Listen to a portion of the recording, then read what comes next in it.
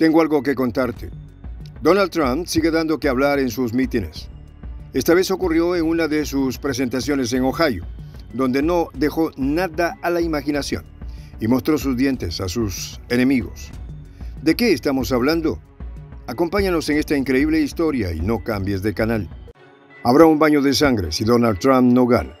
Y sí, lo acaba de decir el mismísimo candidato republicano, quien aprovechó un mitin en Ohio para enviar un contundente mensaje a sus enemigos. Y no decimos adversarios porque la política estadounidense ha llegado a niveles de odio. De hecho, tras la declaración de Trump, los demócratas salieron a responder furiosos, pero ¿a qué se deben las palabras de Trump? ¿Está planteando que el pueblo se levantará ante un fraude el 5 de noviembre? ¿O se refiere acaso a la posibilidad de que lo saquen de la contienda electoral? Sin dudas, en el alicaído imperio del norte, todo puede pasar. Los detalles a continuación.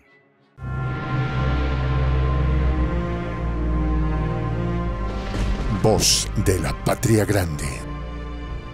Sigamos viendo este interesante video. Entonces, ¿por qué Donald Trump hace este llamado? ¿A qué se refiere exactamente? ¿A una reacción genuina de su gente o a un hecho tan salvaje como el del Capitolio? Vamos a profundizar en esta increíble historia. Trump se adelantó a los demócratas y envió terrible advertencia. La atmósfera en el mitin de Ohio era eléctrica, cargada con la anticipación de aquellos que habían venido a escuchar al hombre que había dominado la política estadounidense durante los últimos años. Donald Trump, el expresidente, ahora nuevamente candidato republicano, subió al estrado con la certeza de quien sabe, portador de un mensaje trascendental. Las elecciones presidenciales del 5 de noviembre serán la fecha más importante en la historia de Estados Unidos. Comenzó marcando el tono de lo que sería una tarde llena de declaraciones explosivas. El aire se tensó cuando Trump abordó el tema del supuesto fraude electoral del 2020 una narrativa que había cultivado meticulosamente desde su derrota. Su voz resonó en la multitud. Si no resultó elegido, habrá un baño de sangre. Va a ser un baño de sangre para el país, afirmó Trump. Una declaración alarmante que dejó a muchos preguntándose sobre las implicaciones de sus palabras. Y es que este hecho ha quedado registrado en las cámaras que se hicieron presentes. Sin embargo, no fue lo único que ha dicho Trump en el mensaje. El video lo verás a continuación. ¿A qué se refería Trump con el baño de sangre? ¿Una indirecta a los que quieren sacar de carrera o robar las elecciones? Saca tus propias conclusiones. Now, if I don't get elected, it's going to be a bloodbath for the whole That's going to be the least of it. It's going to be a bloodbath for the country. That'll be the least of it. If this election, if this election isn't won, I'm not sure that you'll ever have another election in this country. Does that make sense? I don't think you're going to have another election in this country. If we don't win this election, I don't think you're going to have another election, or certainly not an election that's meaningful. No ofreció claridad, en cambio continuó hablando de políticas proteccionistas. Pero el mensaje había sido enviado. La figura de Trump ha sido divisiva, con un seguimiento ferviente por un lado y una oposición resuelta por el otro.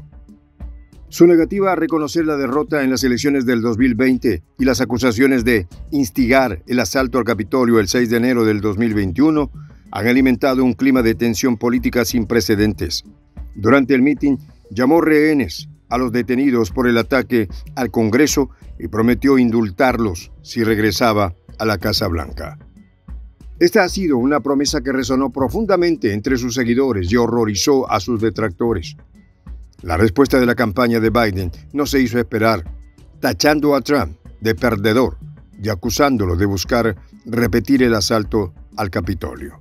Si te gusta lo que estás viendo, no olvides darle like y compartir el video. Suscríbete también a nuestro canal para que formes parte de nuestra comunidad. Ahora bien, ¿Es 100% seguro que Donald Trump representará a los republicanos en las elecciones de noviembre? ¿El tema judicial se resolvió sin lugar a reclamos? Vamos a conocer en qué termina todo esto.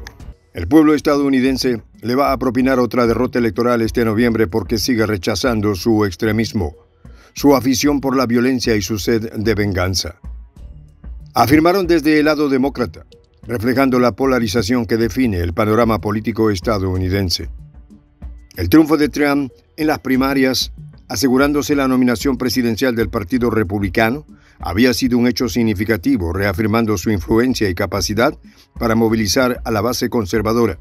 Sin embargo, ¿no habrá ningún bache en el camino? ¿Alguna orden judicial de última hora? Sus declaraciones cada vez más audaces, como la promesa de actuar como un dictador en su primer día de mandato, o la insinuación de animar a Rusia a atacar países de la OTAN que no cumplan con las cuotas de gasto en defensa, solo ha intensificado el debate sobre su figura y lo que representa para el futuro de Estados Unidos. Esta tarde en Ohio, Trump no solo envió una advertencia sobre el resultado electoral, sino que también plantó la semilla de una posible exclusión de la contienda por sus asuntos judiciales. Sus palabras, aunque no expresadas directamente, sugerían un conocimiento de que sus electores se sentirían robados si no ganaba, perpetuando la narrativa de fraude que ha sostenido desde el 2020. Entonces, ¿el tema judicial de Trump está resuelto o no? La maraña judicial que rodea a Donald Trump parece enredarse cada vez más en lugar de encontrar algún desenlace claro. En Georgia, el caso contra el expresidente por una supuesta manipulación de los resultados electorales del 2020 se sumerge en una complejidad adicional.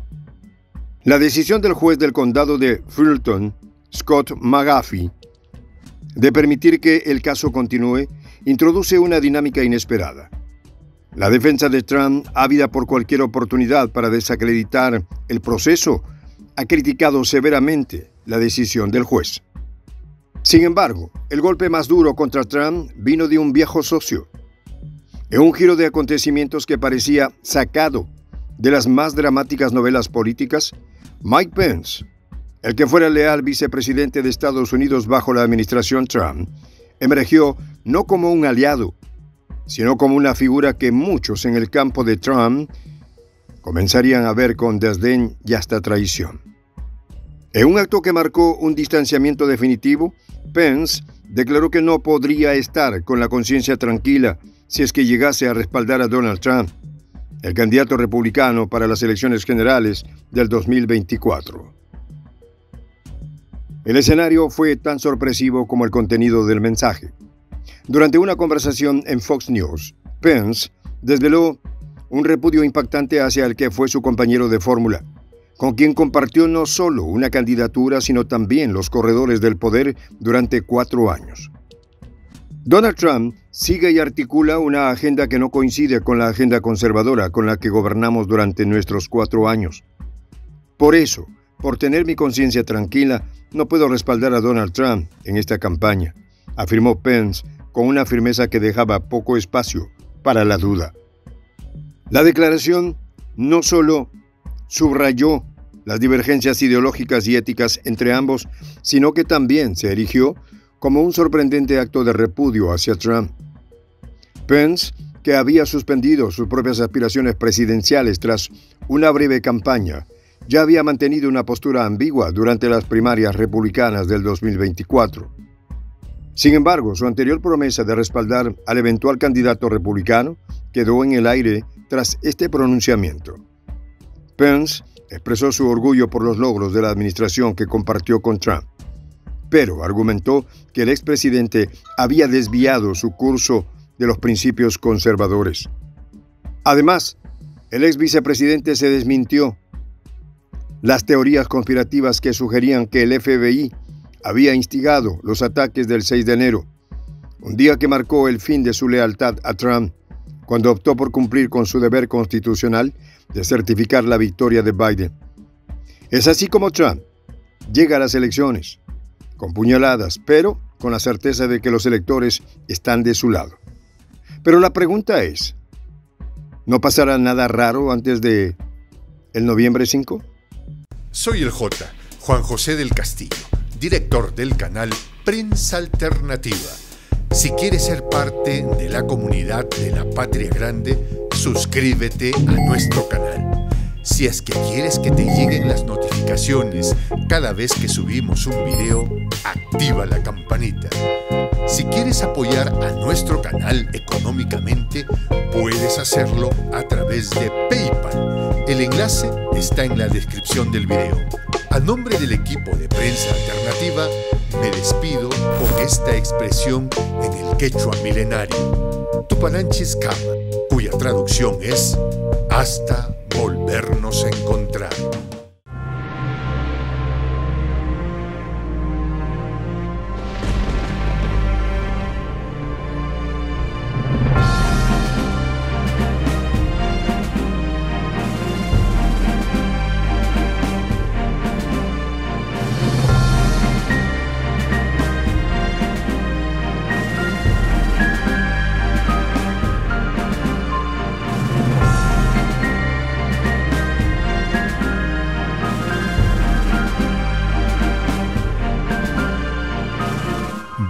De la patria grande.